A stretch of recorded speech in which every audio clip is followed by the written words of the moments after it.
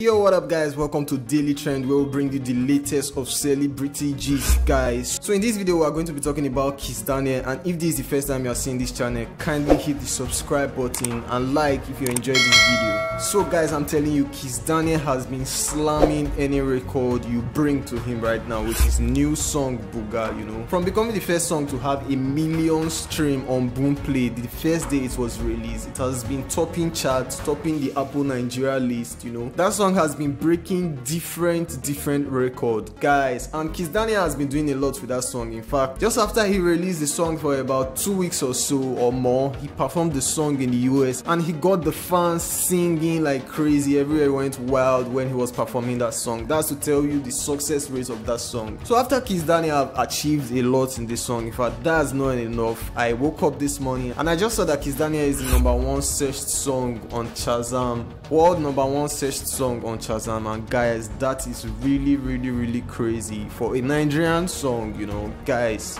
Kizz Daniel fans right now are very excited and they have been seeing a lot about Kizz Daniel. In fact they have been very excited. They are excited people right now. History made. Kizz Daniel becomes the first artist to register 1 million stream on Boomplay in 24 hours just a single. The track Buga featuring Tekno is breaking gates for real Congratulations, King Vadu. Kiss Daniel drops a nice jam as always. The music circulates to the point where everybody listens and likes it. Then some start complaining about his PRO, which is promotion. Then the complaints goes ahead to serve as the PRO needed for the song. It has become a Vadu culture. Kiss Daniel is goated a big Agba boy holding the world down with Buga. White people been singing and vibing to Monico Lala, Kala Gbowo, Yellow, Dila What's this? Pure Afro pop. Man is gradually maneuvering his way into the top 3 spots in Nigeria.